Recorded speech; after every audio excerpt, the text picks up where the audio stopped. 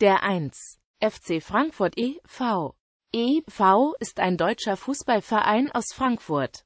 Er wurde 1951 in Leipzig als Vorwärts Leipzig gegründet, zog 1953 nach Ostberlin und gewann dort bis 1971 als Vorwärts Berlin mehrfach die Meisterschaft und den Pokal im DDR-Fußball.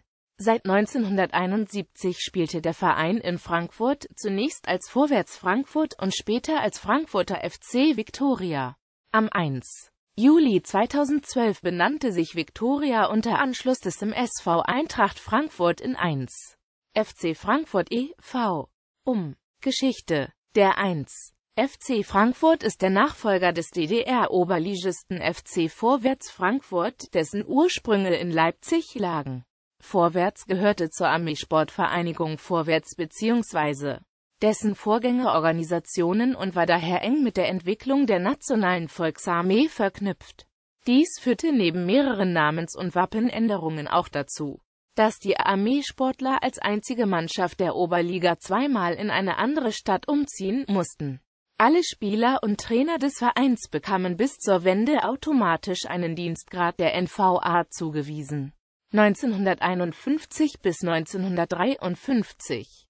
Anfang der 50er Jahre wurde vom Vorläufer der kasernierten Volkspolizei, der Hauptverwaltung Ausbildung, eine Sportvereinigung vorwärts gegründet, die nach sowjetischem Vorbild als sportliches Aushängeschild der nationalen Streitkräfte dienen sollte bei einer 1951 durchgeführten HVA-internen Meisterschaft zur Ermittlung der besten Vorwärtsmannschaft gewann die Leipziger Vorwärtssportgruppe mit 9 zu 2 gegen die SV Vorwärtsburg, woraufhin Leipzig zum HVA-Fußballstützpunkt erklärt und Vorwärts Leipzig für die Saison 1951-52 ohne sportliche Qualifikation in die Oberliga eingestuft wurde Dabei bekam die Sportgruppe die neue Bezeichnung SV Volkspolizei Vorwärts Leipzig.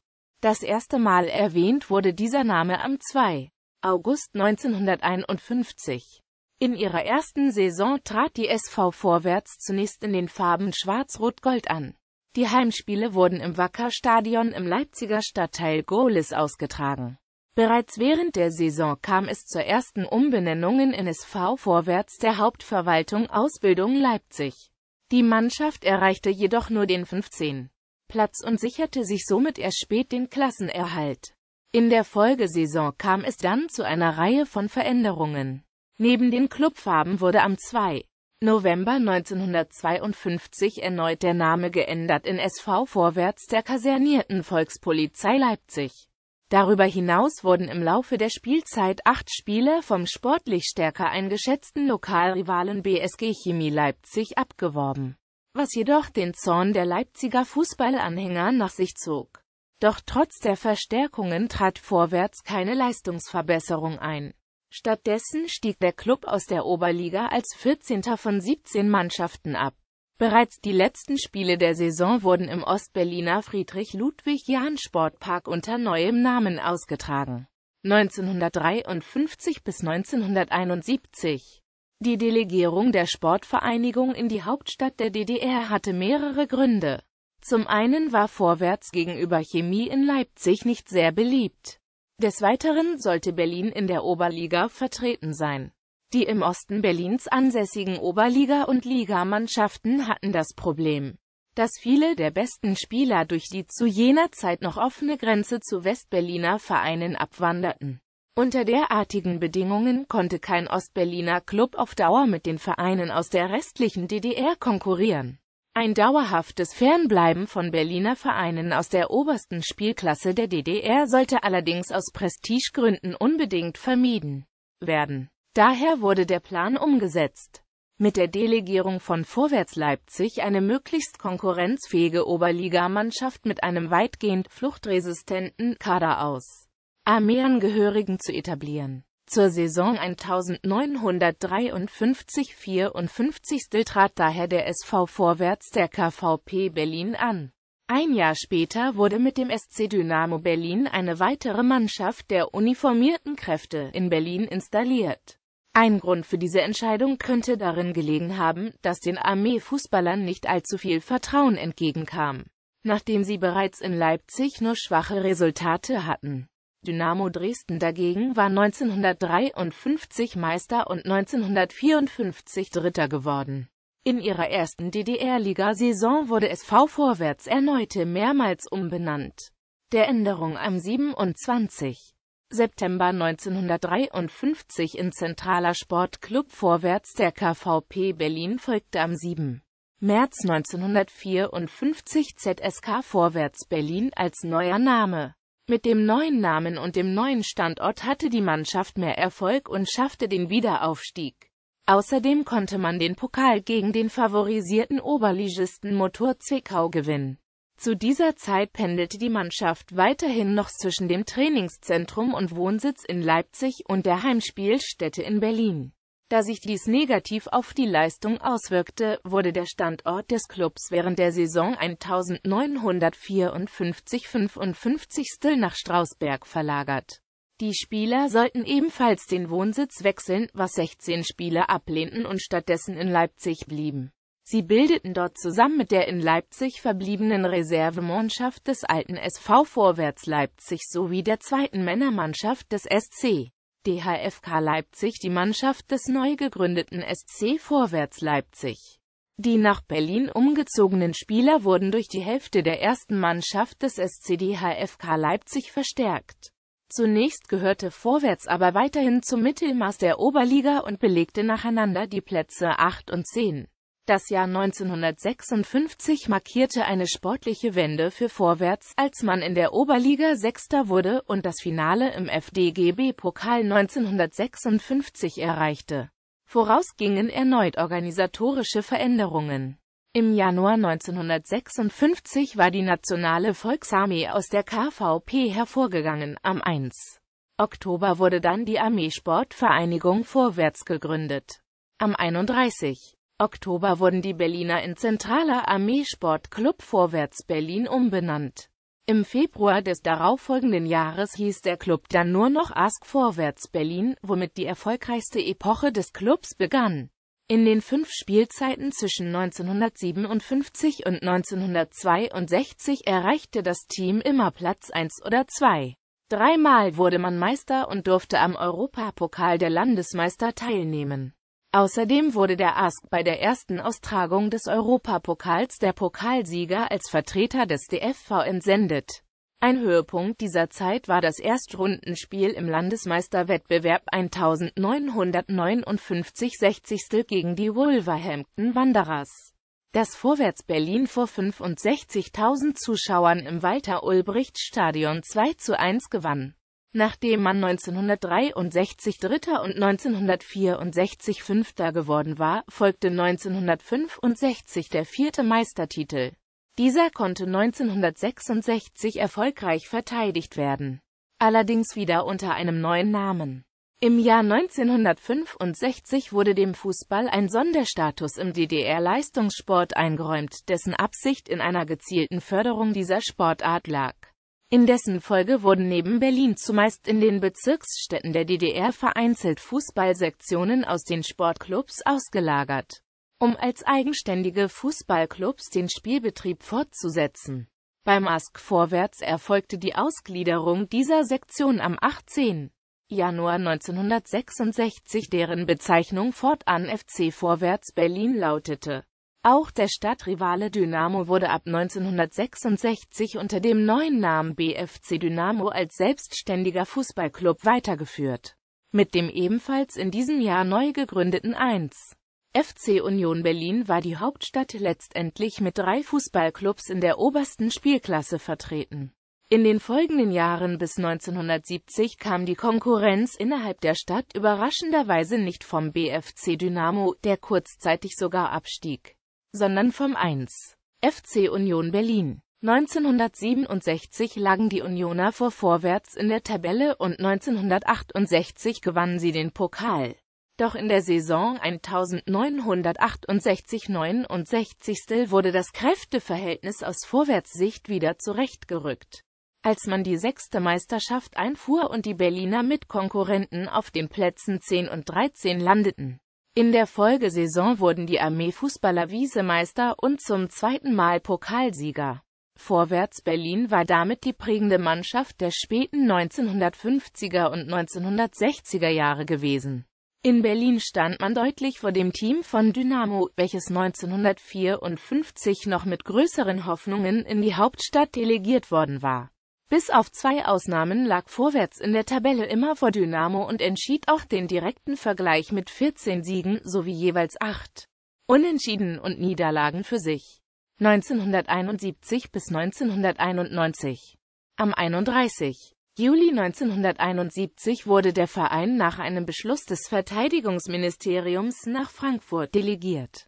Die Hintergründe dieser Verlegung wurden niemals öffentlich dargelegt, jedoch gilt als sicher, dass MFS-Chef Erich Mielke hierbei eine entscheidende Rolle gespielt hat indem er den zu der Zeit amtierenden Verteidigungsminister Heinz Hoffmann von der Notwendigkeit einer Versetzung des Vereins in die Bezirksstadt überzeugte. Dieser Umstand ließ Vermutungen laut werden, dass der von Milke bevorzugte BFC Dynamo zum elitären Hauptstadtverein aufgebaut werden sollte und man sich mit dieser Maßnahme gleichzeitig des deutlich erfolgreicheren und weitaus populäreren Lokalrivals entledigen wollte. Im Zuge der Verlegung des FC Vorwärts wurde die 1971 in die DDR-Liga aufgestiegene Mannschaft von Dynamo Frankfurt nach Fürstenwalde verlegt und spielte fortan als SG Dynamo Fürstenwalde. Die letzte Berliner Saison des FC Vorwärts endete im Mittelfeld der Tabelle. Immerhin gelang in dieser Spielzeit noch der Vorstoß ins Viertelfinale des Europapokals der Pokalsieger. Doch an die Erfolge der Berliner Zeit konnte der FC Vorwärts danach nie wieder anknüpfen. Der umgezogene FC Vorwärts spielte in der Oderstadt fortan unter der Bezeichnung FC Vorwärts Frankfurt. Nachdem sie die Saison auf dem zwölften und letzten Nicht-Abstiegsplatz beendet hatte, erreichte die Mannschaft 1976 relativ unerwartet das FDGB-Pokalfinale. Dieses wurde allerdings deutlich mit 0 zu 3 gegen den 1. FC Lokomotive Leipzig verloren. In der Saison 1977-78 konnte schließlich der Abstieg nicht mehr verhindert werden. Der FC Vorwärts musste nach 1953 zum zweiten Mal in seiner Vereinsgeschichte den Gang in die DDR-Liga antreten. Jedoch konnte in der darauffolgenden Saison der sofortige Wiederaufstieg in die höchste Spielklasse erreicht werden. Anfang der 80er Jahre erlebte der FC Vorwärts Frankfurt seine sportliche Wiederauferstehung, als er sich in drei aufeinanderfolgenden Spielzeiten für die Teilnahme am UEFA-Pokal qualifizieren konnte. Darüber hinaus erreichte man 1981 wiederum das Finale im FDGB-Pokal, wo man jedoch abermals gegen Lok Leipzig den kürzeren zog. Außerdem gab es in der Saison 1982-83 mit der Vizenmeisterschaft die bislang beste Platzierung des Vereins in der Frankfurter Ära, bezeichnenderweise hinter dem früheren Lokalrivalen BFC Dynamo, der seit einigen Jahren die Oberliga dominierte. Am Ende der Saison 1987-88 musste der FC vorwärts erneut in die Zweitklassigkeit auch hier spielte der BFC eine wesentliche Rolle. Als dieser am letzten Spieltag durch einen 1:0 Heimerfolg den Abstieg der Frankfurter Gäste besiegelte. Die Niederlage der Oderstädter bewahrte gleichzeitig den zweiten Klub aus der Hauptstadt Union Berlin vor dem schon sicher geglaubten Ausscheiden. Seit 1991. Mit dem Ende der DDR war auch das Ende des bisherigen FC vorwärts gekommen, da die NVA zum 3. Oktober 1990 aufgelöst wurde und es im Umfeld der Bundeswehr eine der Armeesportvereinigung Vorwärts vergleichbare Organisationsstruktur nicht gab, der man sich hätte anschließen können. Im letzten Jahr der Oberliga 1990-91, welche während der Saison, bedingt durch die Vereinigung, zur NOFV Oberliga wurde spielte die zuvor soeben wieder aufgestiegene Mannschaft dann schließlich ab Februar 1991 als FC Viktoria 91 Frankfurt. Mit der offiziellen Neugründung des Vereins unter diesem neuen Namen konnte der Spielbetrieb bis zum Saisonende fortgeführt werden. Das primäre Saisonziel, die Qualifikation zur 1 oder 2 Bundesliga, verfehlte der bisherige Armeesportclub allerdings deutlich, nicht zuletzt als Folge der Auflösung der NVA und dem daraus resultierenden personellen und strukturellen Substanzverlust für den Verein. Der FC Viktoria schloss die Saison als Tabellenletzter ab und erreichte damit nicht einmal die Qualifikationsrunde zur 2. Bundesliga, wofür der 12. Platz notwendig gewesen wäre. Der Verein verschwand so schließlich aus dem Blickfeld des Profifußballs. Mit einer Mannschaft der Namenlosen gelang es, den weiteren sportlichen Absturz zu verhindern und in der Saison 1991-92 in der Oberliga Nordost Staffel Nord den 11. Platz zu belegen, womit der Klassenerhalt gesichert war. Seit der Saison 1992-93 lautete der neue Name Frankfurter FC Viktoria 91. Die Namensgebung erfolgte in Anlehnung an den vor dem Krieg existierenden früheren Verein Viktoria FSC 04, dessen Tradition man damit aufnahm. In den folgenden Jahren folgten jeweils am Ende der Saison dreimal der Abstieg aus der Oberliga Nordost und zweimal der Wiederaufstieg. Seitdem etablierten sich die Frankfurter in der Brandenburg-Liga. Am 1. Juli 2012 schloss sich der MSV Eintracht Frankfurt dem Frankfurter FC Viktoria an und der Verein benannte sich in 1. FC Frankfurt e.V. um. Das e.V. im Namen steht dabei für die beiden Ursprungsvereine Eintracht und Viktoria. Ziel des Zusammenschlusses sollte die mittelfristige Etablierung des Frankfurter Fußballs in höheren Spielklassen sein. Am Ende der Saison 2014-15 konnte der erste Erfolg gefeiert werden. Die Mannschaft bezwang am letzten Spieltag der Brandenburg-Liga Meersdorf-Zeuthen mit 5 zu 1 und stieg so als Tabellenerster und Brandenburg-Meister in die Oberliga Nordost auf. Namens- und Wappenhistorie. Punkt. Punkt. Punkt. Punkt. Punkt. Punkt. Punkt. Erfolge in der ewigen Tabelle der DDR-Oberliga belegt die Mannschaft den sechsten Platz. DDR-Oberliga-Meister 1958, 1960, 1962, 1965, 1966, 1969. DDR-Oberliga-Visemeister 1957, 1959, 1970, 1983. DDR-Oberliga Dritter 1963 DDR-Ligameister 1954 1979 1990 FDGB-Pokalsieger 1954 1970 FDGB-Pokalfinalist 1956 1976 1981 Europacup der Landesmeister. 1969 70. Europacup der Pokalsieger. 1970 71. UEFA-Pokal 1980 81. Europapokalbilanz Legende Gesamtbilanz. Erfolge im Amateurfußball Landesmeister Brandenburg. 1997, 2003, 2015 Landespokal Pokalfinalist 1996, 2000, 2002 Oberliga-Hallenmeister. 2004 Bilanz seit 1990 91. bekannteste Spieler. Frieder Antrich Mittelfeldspieler, absolvierte für den FC Vorwärts 298 Pflichtspiele und erzielte dabei 121 Tore. Horst Asmü Rechtsaußen, zwölffacher DDR-Nationalspieler, nach Flucht in den Westen Tennis Borussia Berlin FC Schalke 04 und KSV Hessen Kassel Werner Eilitz Abwehrspieler, zwischen 1952 und 1956 achtfacher DDR-Nationalspieler 167 Einsätze in der Oberliga. Otto Freesdorf Abwehrspieler 33-facher DDR-Nationalspieler, mit der DDR-Mannschaft für Gesamtdeutschland Bronzemedaillengewinner 1964 in Tokio.